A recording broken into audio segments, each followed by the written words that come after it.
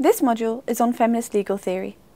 By the end of this module, you will have knowledge of what feminist legal theory is, the dominant first three generations of feminist legal theory in the West, and the critiques of these theories.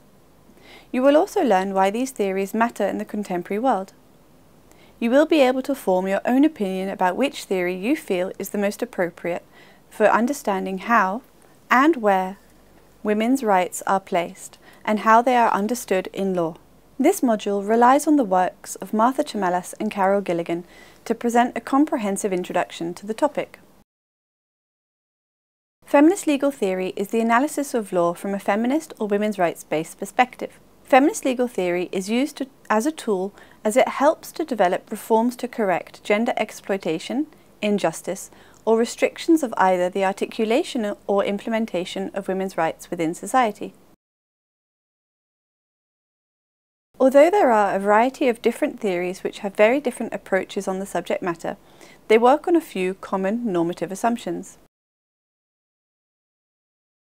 The notion that men and women are of equal legal and moral worth and that they have a right to non-discrimination and to have their rights fulfilled under the law is the common basis to all theories. Many feminists believe that the current articulation of the human in human rights law has the male as the universal rights holder and is therefore male-centric. Universal rights within domestic and international human rights law therefore do not always fully represent women's lived experiences or needs. The construction and articulation of law has therefore been largely criticised by feminists. To understand why a feminist critique of law has emerged, this module will examine the socio-economic status of women in the West in the 1950s before then examining how the feminist movement chose to engage with the law to seek reform.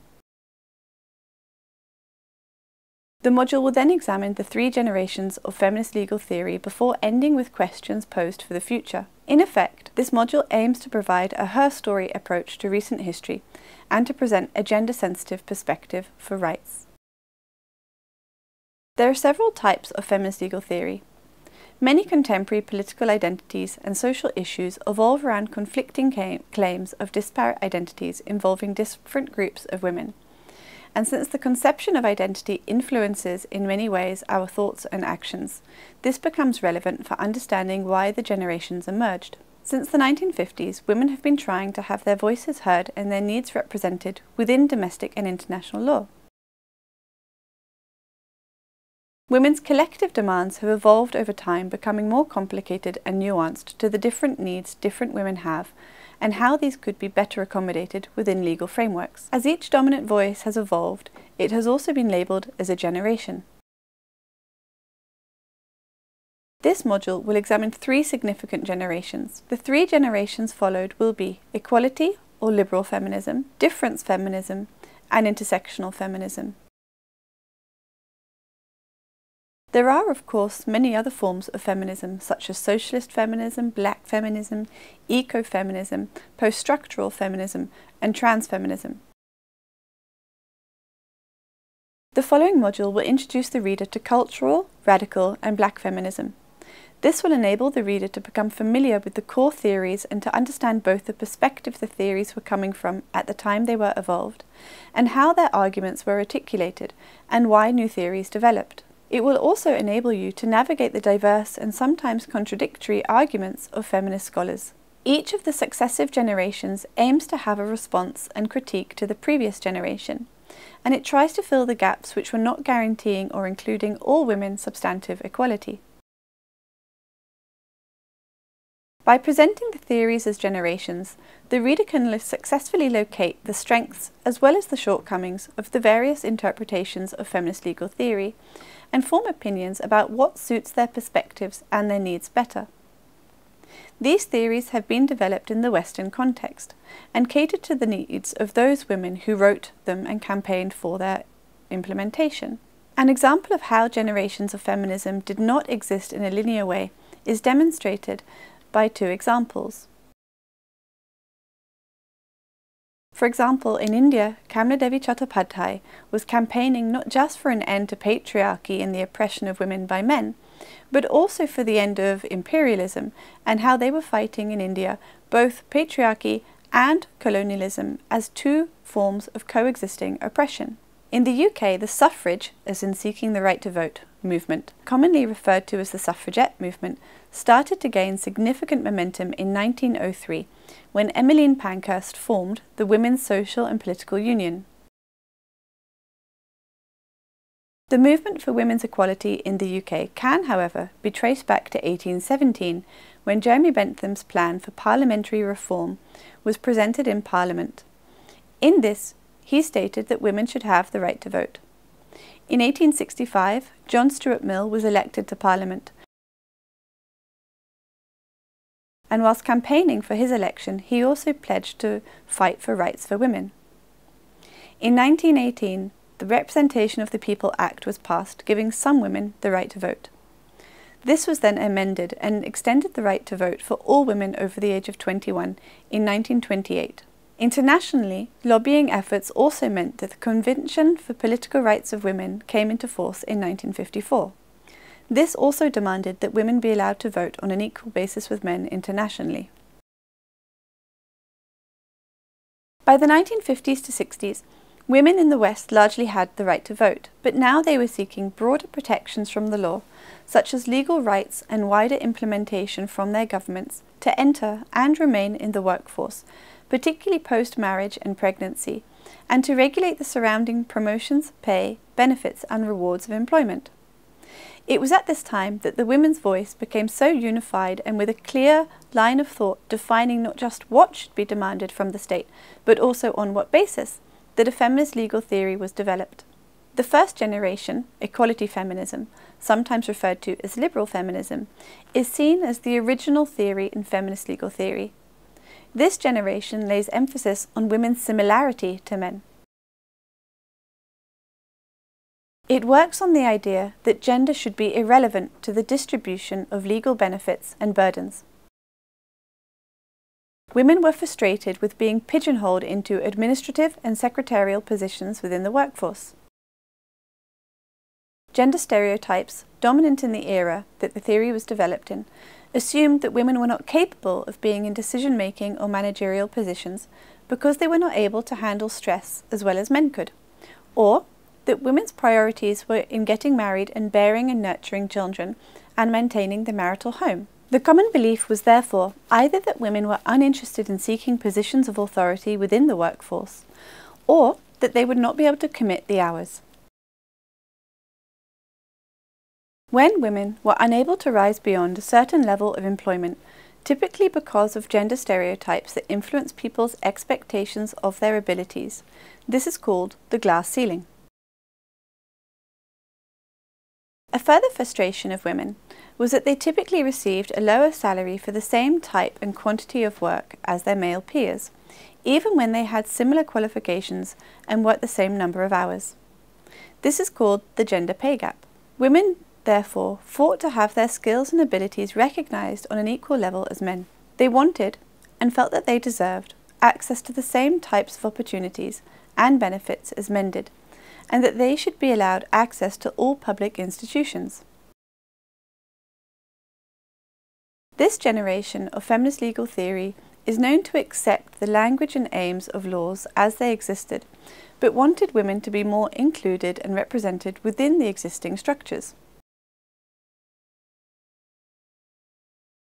This was based on the argument that women are equal to men regarding their skills, intellectual abilities and capacity to do the same jobs for the same economic rewards. This premise reinforces the liberal feminist legal theory's claim that most of the arguments arise from the idea of individual rights. Their main objective is to implement the law as based equally for all individuals. As women were frustrated at not having the same opportunities as men, this theory focused on trying to eliminate differences and gender-based stereotypes between men and women's abilities. The liberal feminists' main aim was therefore to dismantle the sex-based legal distinctions that had been established purportedly to protect women, but that served to exclude them from positions within the workforce. Equality feminists, in their efforts to prove the sameness to men, also chose to criticise stereotypes perceived as natural differences between men and women that serve to underrepresent women in managerial positions or in political participation and their overrepresentation in care work. As liberal feminists fought to be seen as the same as men and to have the same rights that already existed as men, they have often been called assimilationists. They assimilated to a pre-existing model of rights. They tended to not challenge the standards, rules, or structures themselves, but to focus instead on equal access within the same framework. As this generation of thought simply adds women to the existing language of laws which already existed, it is often also called the add women and stir approach, as women are being added to the pre-existing structure, but the original substance, for example law, is not substantially changing. Liberal feminism has been critiqued for many reasons. First, as the theory does not call for substantive change within the law, but only the adding of women to existing protections, it has been criticised for only benefiting women to the extent that they want or are able to assimilate and conform to the expected behaviour of middle-class privileged men. Second, liberal feminism has been critiqued for essentialising all women as being the same, with the same set of needs, aspirations and a starting point within society. For example, it assumes that all women have the same socio-economic resources, educational qualifications and level of acceptance by employers. This doesn't recognise differences between women and their different needs. Third, as men are physically unable to become pregnant and socially were not expected to be primary caregivers due to powerful gender stereotypes, pregnancy and childbirth and time off work for the same were not given. Even with the changes in law that liberal feminism introduced, it did not therefore ensure equality for women with men throughout their careers.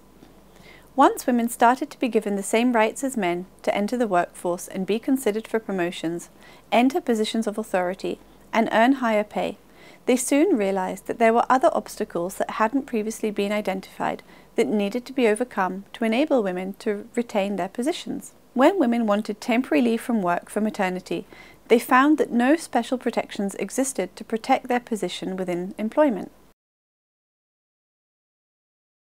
The battle for women to secure equal rights as men within the workforce and public sphere had been won, but women now realised whilst being equal intellectually to men, they were differently physically, and the structure surrounding their daily lives needed to be more accommodating. The second generation of feminist legal theory difference feminism, rooted its arguments on the basis though the equality approach had helped women get more rights than they previously had and more access to the workforce, the basis that men and women were equals in every sense was faulty. The concept of sameness between men and women was questioned, resulting in the articulation of the male bias or androcentric theory. Both of these concepts recognize that law, as it existed before and after the generation of feminist legal theory, is gender blind. It didn't recognize the differences between men and women, for example, reproductive functioning.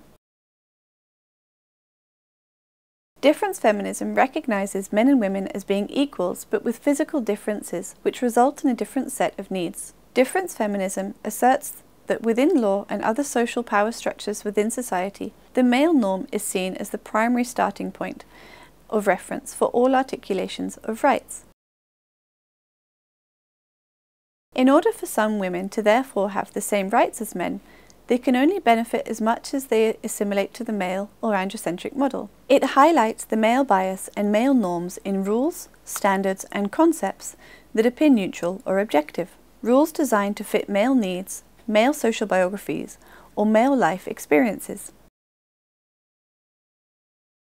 The second generation of feminism challenges the possibility of women being able to effectively assimilate into an inherently male model and aims to address the shortcomings of assimilation to enhance actual substantive equality. In order for women's needs to be recognised and then met, difference feminists introduced the question of the woman question. The woman question prompts decision makers and people interpreting and or drafting legislation to question whether women's needs are met within existing law or a law that is being drafted.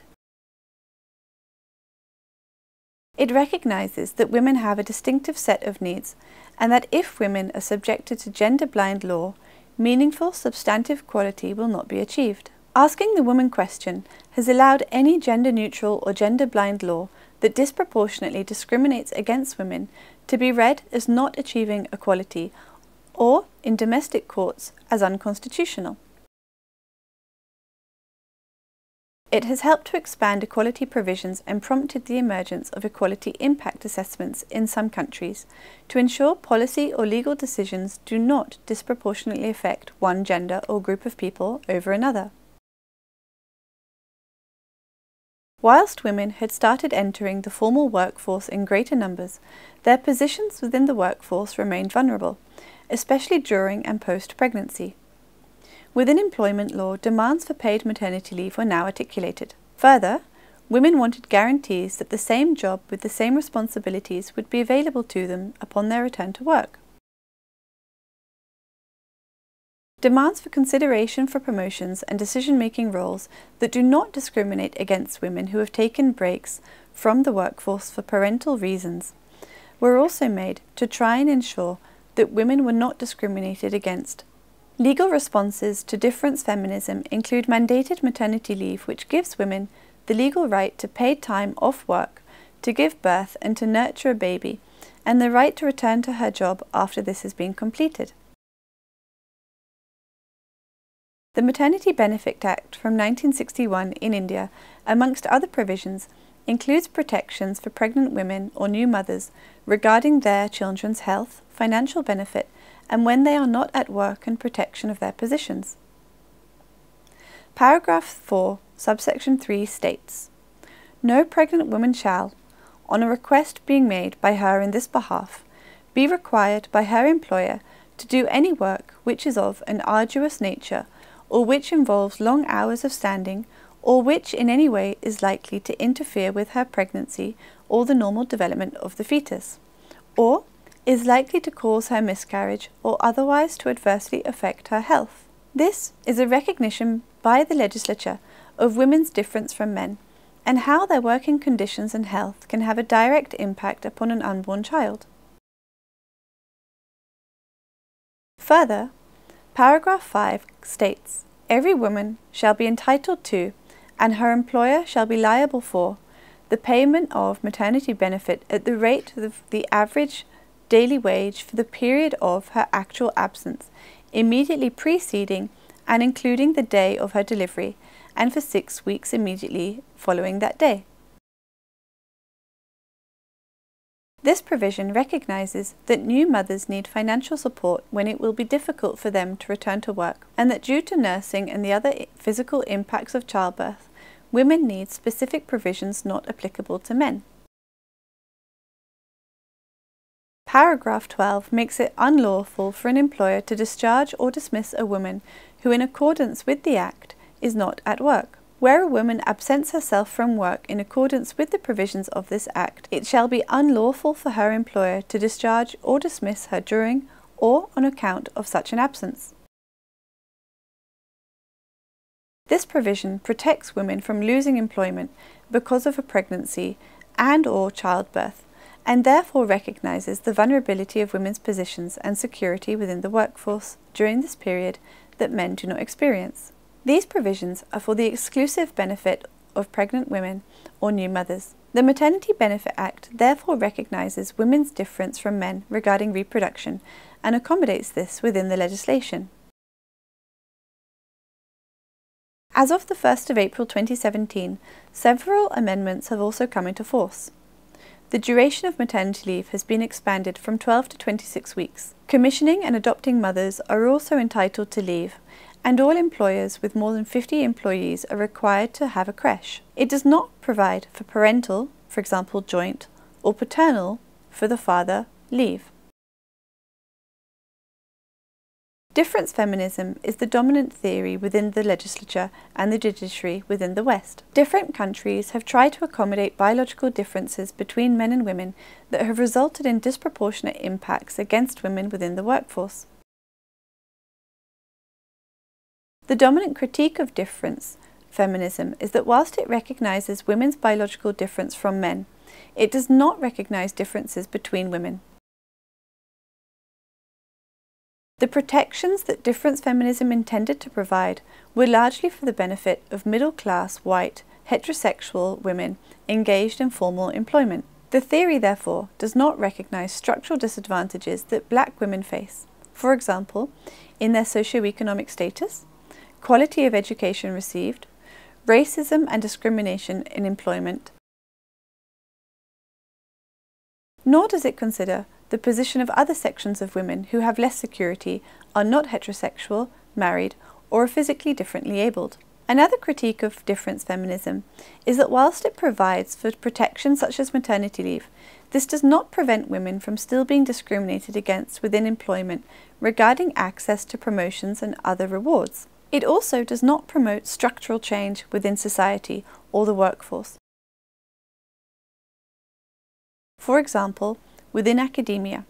In order to secure tenure, a faculty member must publish a certain number of publications within a fixed number of years. For primary caregivers who are overwhelmingly women, if they have a child during this time, they are automatically at a disadvantage, as when they are caring for a newborn and young child, they are unlikely to also be able to research and publish papers at the equal level as men. New York University in the USA has a policy whereby parents who are expecting a newborn child can apply to have their tenure clock, for example, the period of time within which publications must be made, stopped when their childcare parental leave starts and then restarted when they return to work. Whilst this is sympathetic, to the reality that most carers for small children do not have the time to research and publish, the result is that the primary caregiver, who is more often than not the woman, who chooses to have a child and then look after it before it starts going to play school, will still need to publish five papers within now maybe six years, or, if she has two children, within seven years. This means that if you become a parent but do not take leave, in this case you're overwhelmingly men, you'll still have to publish five papers within five years. The result of this policy is that academics who do not take childcare leave are promoted faster and receive all the benefits such as higher salaries and increased job security and more influence within the workforce than those who do take childcare leave. Such policies contribute to the lack of representation of women at decision-making levels and their lower financial rewards within institutions and organisations globally. A more gender-sensitive and accommodating approach would be to consider the time for parental or family leave to be considered equal to that of one publication. For example, if you have published one less paper over a five-year period, but in that time you had or were the primary caregiver for a baby, your parental leave will be considered as equal to one paper. Employees who have had children will therefore not be negatively affected by their personal choices and will be recognised for their contributions to the workforce and their biological, for example, pregnancy, and social, for example, parental care, roles. Policies within the workforce that provide incentives for men to play a greater role in child rearing and provide high quality available childcare provision will also be structurally making the workforce more accommodative. Whilst the second generation of feminism responded to the gaps in equality, feminist legal theory, the third generation, complex identities or intersectional feminism, also aimed to fill the gaps left by the first and second generation of feminism. The 1990s saw a shift in how difference was perceived. It moved from between men and women to between women. Third generation scholars identified that the first and second generations of feminism did not recognize structural disadvantage. Whilst they aimed to give women as a group more rights, it essentialized all women as one group who all had the same social position and shared the same barriers which prevented them from effectively realizing equality with men. The third generation of feminism articulated the lived experiences of a wider range of women and different coexisting identities that all intersected with one another to reinforce the discrimination they experienced or barriers they faced to accessing the same opportunities. These include, but are not limited to, socio-economic status, sexual orientation, employment status, marital status, single mothers, ethnicity, race, religion, age, immigration status, geographic location, level of ability, and those differently abled. Recognizing that multiple forms of oppression coexist enabled women to embrace a more inclusive approach towards defining their broad range of lived experiences, perspectives, and identities by adopting a both and approach rather than an either or. This was very significant as the legal regime in place prior to this had been resistant to recognizing that multiple forms of discrimination could coexist and reinforce disadvantage and to subsequently provide redress. This can be seen in the de Graffenried et al. versus General Motors case referenced. Intersectional feminism moves beyond analysing discrimination on singular or mutually exclusive forms of discrimination which enables people's lived realities and experiences of discrimination to be understood as often occurring due to multiple factors or aspects of their identity. The need for this encompassing stance is highlighted in the 1976 case of Emma de Graffenried and others versus General Motors Assembly in the American state of Missouri. De Graffenried, a black American woman, took her employer, General Motors, to court, claiming she had been discriminated against because of her sex and colour. She worked in a factory that employed 8,561 workers. Of these, black women were 1.81% of the workforce. As part of a cost-saving redundancies, all but one black woman, a janitor, lost their jobs. Black women comprise 7.10% of all of the redundancies. De Graffenried et al. claimed that they had been discriminated against both because they were black and because they were women. When the district court heard this claim, it stated, The plaintiffs are clearly entitled to a remedy if they have been discriminated against. However, they should not be allowed to combine statutory remedies to create a new super remedy which would give them relief beyond what the drafters of the relevant statutes intended. The judgment went on to ask whether a cause of action for race discrimination, sex discrimination, or alternatively either but not a combination of both, had taken place. By choosing to adopt the either or, and not the both and approach, the court did not recognize the multiple levels of discrimination that women of colour experience simultaneously, both by virtue of their sex and colour. The active resistance and reluctance by the court to recognise the multiple forms of intersecting and coexisting discrimination, which reinforced the social disadvantage women of colour experienced, was furthered when the court said the legislative history surrounding Title VII, which are anti-discrimination laws, does not indicate that the goal of the statute was to create a new classification of black women, who would have greater standing than, for example, a black male.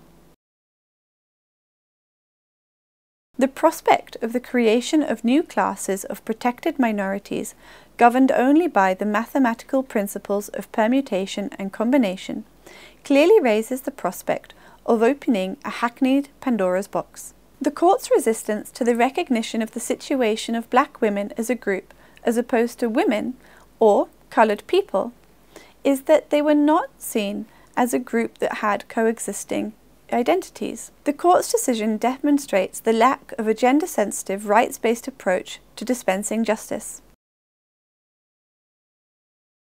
This case reinforces how law, if it is interpreted and applied neutrally in the same way for different people, can be a source of injustice rather than justice.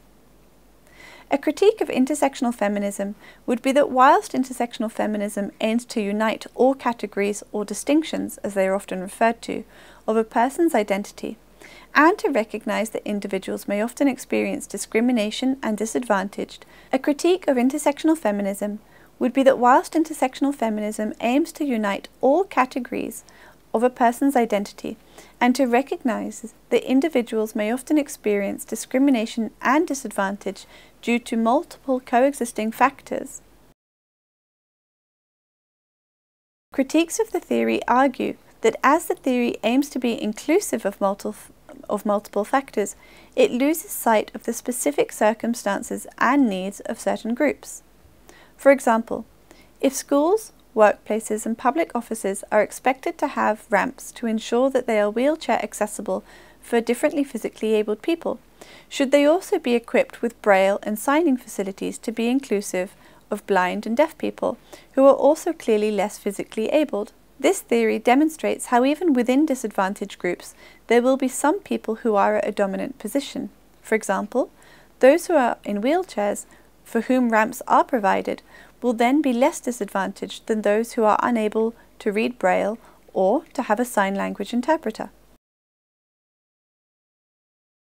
Some commentators have also asked how, with only, say, six seats on a panel of ten positions on a board of directors, can half of humanity, with all of its differences, ever be represented? Essentially, the test comes with trying to be as inclusive as possible and being aware of difference and trying to prevent forms of discrimination from affecting women's equality of opportunity and equality of results. This chapter has sought to explain what feminist legal theory is by looking at the first three dominant generations. It has also tried to understand women's rights and where they are placed and understood within law. It has touched upon some legal enactments present that protect women's rights. This module is now complete. Thank you.